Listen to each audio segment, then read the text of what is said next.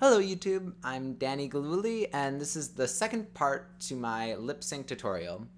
And if you haven't seen the first part yet and you don't really know how to lip sync yet, then I recommend to go see that one. I'll put a link in an annotation and in the description.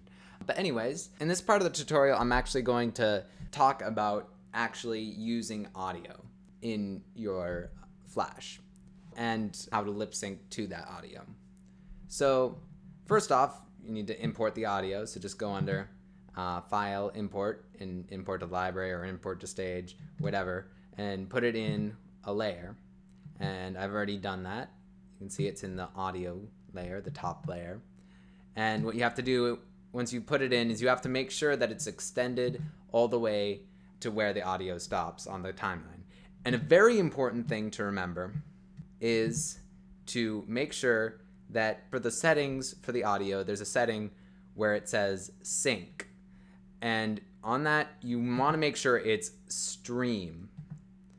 It's under stream. Don't do it as an event. Doing it as an event is better for things like video games or something like that. Not good for lip syncing. So make sure it's under stream. Make sure it's under the setting stream, or else it'll be annoying. okay. And an important thing to do is under your settings, make sure that you have, see, it's not set this way. Make sure you set the audio to a good quality because the default quality is really bad. so uh, make sure you have it as really good quality. Um, I, I, like to make it the best quality. You might want to, if you are dealing with big files, you might have to not do it. I generally like to com not convert stereo to mono. I like to keep it as stereo.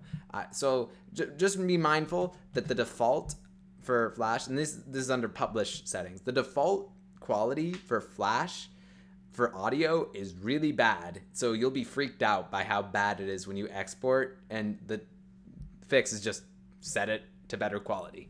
Make sure you do that, or else it's going to be really bad quality. So I have some audio of me speaking. I just say the sentence, I like to swim over there.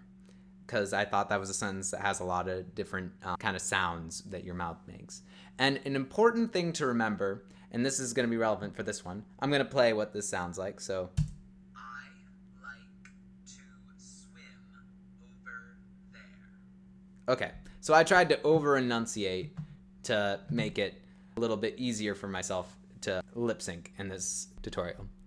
But anyways, an important thing to remember, if you're lip syncing to English, which I'm lip syncing to English right now because I'm speaking English, it's particularly with English, it probably is relevant to certain other languages too, but particularly English has a lot of different diphthongs. So certain vowels, like for example, the vowel I, the vowel I is actually two different sounds. It's ah and e. So I.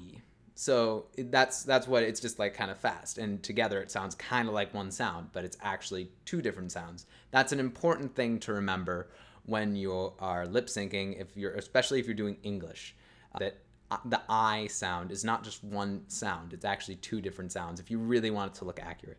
That's going to be relevant. So what we do is we just play along the timeline and we figure out where it starts and I can kind of tell it starts around frame nine. If you play, you can tell that it kind of it starts right there. You can hear that I start saying the word I.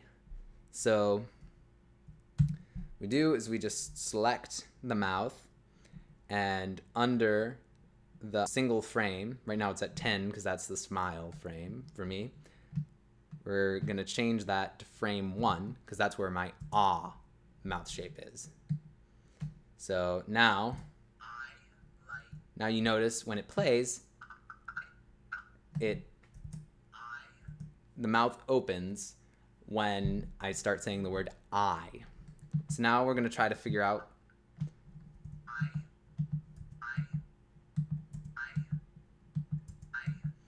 We're going to start where to fi- figure out where the the the sound that I'm making starts to change in I, where it starts to change to kind of an E sound.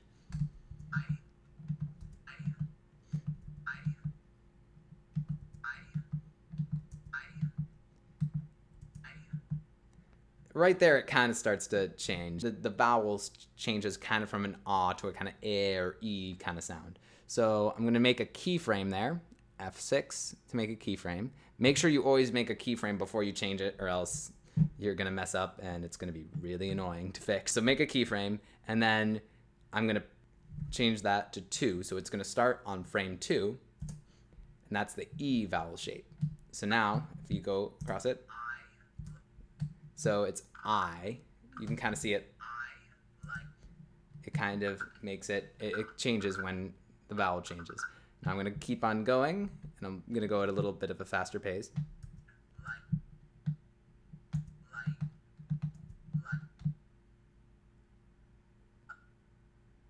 Okay, sometimes it's hard to know when it... But it's better to start a bit earlier. It's okay if the mouth shape kind of is anticipating. It's better to start earlier than to start when after they're already talking.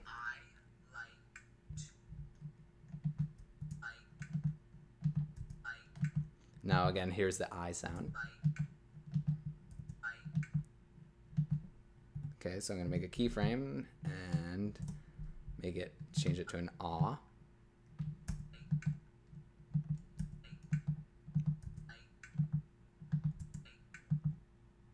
Now here's a little bit of a dilemma because the I or the E kind of vowel shape I have is actually the same thing I use for the K sound. So let's see what it looks like if I... I'm just to keep it... You might want to do something about that. Maybe change it slightly just so it kind of... When the sound changes, something happens to the mouth. But I'm just to keep keep it the same when it changes to the K sound. So the next sound is ta, is a T sound. So let's see how this looks. Like okay, that looks pretty good.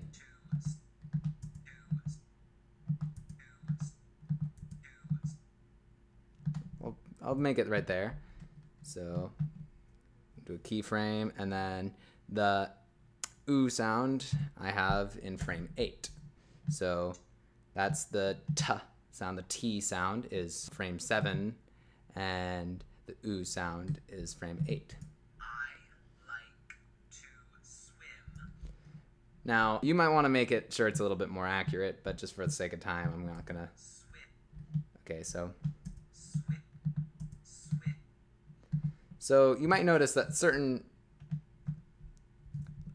shapes are I use certain shapes for different, a lot of different consonants. Like T and S, I both use this mouth shape. Now, now we're gonna find.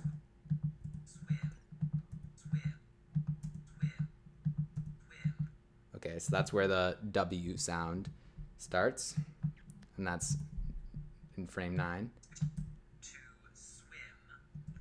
Okay, and then Okay, so this is the same. Now the next mouth shape is the same as the E vowel. It's E. In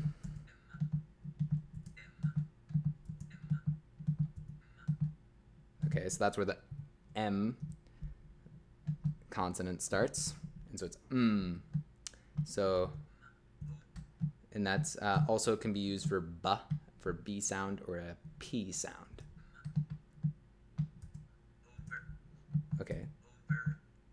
Guess that's where about where the O sound starts. Okay, so that's the O sound, and that's the O shape, uh, and that's frame six of the graphic clip.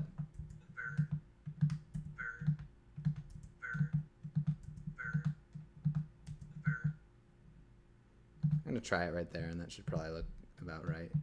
And that's three, which is the V sound.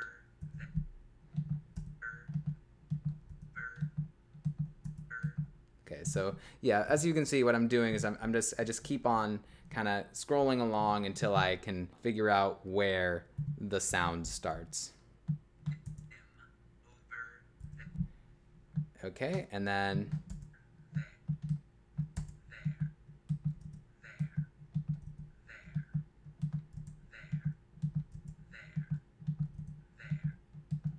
Okay, so there, make a keyframe, and that for there, for the, the the sound, the TH sound, now I usually use the same mouth shape as the L sound because you use your tongue to make the the sound. You put it kind of behind your teeth.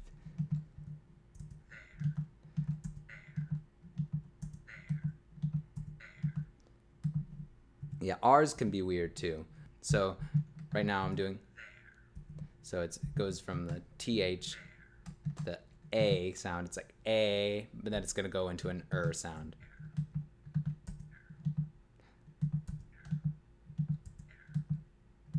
Okay, so around this frame, it changes to the er sound. And that's frame nine of the graphic clip. And then after they're done speaking, you can put it back to closed mouth, just so you can. And so this is the effect, basically.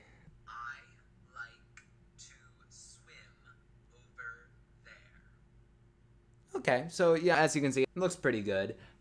I'm sure you could come up with a better one. That's what, what I, I would challenge you. You can kind of use this basic technique, but maybe use more mouth shapes, or you can try to find your own technique. But this will get the job done. And honestly, as you can see, even this technique takes a lot of time. And honestly, that's just kind of how lip sync is. It, it, it's time consuming. It takes a lot of time, no matter what method you use. Even if you use this easier method, it still is going to be time consuming. But I hope this was helpful. And yeah, I mean, you can post any questions, comments in the comment box. And if you like these kind of videos, you can subscribe and maybe you'll can you can see more of these videos in the future hopefully but thank you for watching and bye